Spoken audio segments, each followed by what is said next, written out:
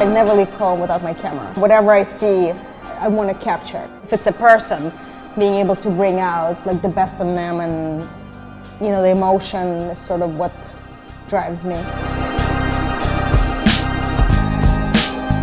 New York City has, is always sort of been my muse. I definitely prefer like the moodier version of it. It's like photos of New York in the rain or snow is sort of Kat in NYC-ish. and every time it's like snowing or raining, I get all these direct messages saying like, oh, we're waiting for your photos, you know, like this is your weather. Full time I've been shooting about two and a half years now. When I first started doing photography, it was more like landscape. And then it morphed more into people. So uh, I just had coffee with the editor-in-chief of Elle Russia, who I'm gonna shoot a story for. Going to my agency to meet with uh, Jackie, my agent. As a female, it's nice to be able to shoot something a little bit more provocative, but it's still from like the feminine perspective. My photos are not, they might be sexy, but they're not like sexual. I think it's nice as a female too to sort of push those boundaries and be able to do what historically is sort of male oriented.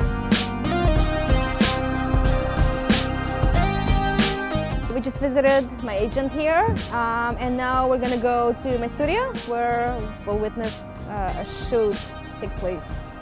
With anyone I shoot, to sort of establish a relationship. I think a big thing is them liking you just as a person. So on a personal level, I always try to connect with people because then, you know, they're just much more comfortable and open and, you know, they're in their sort of best light.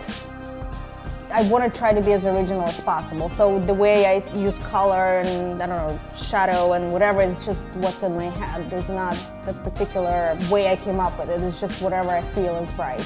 I like showing their beauty or sort of translating into the way I see it because I feel like different people interpret it differently. It's an outlet for me to express what I see and I want to communicate to other people.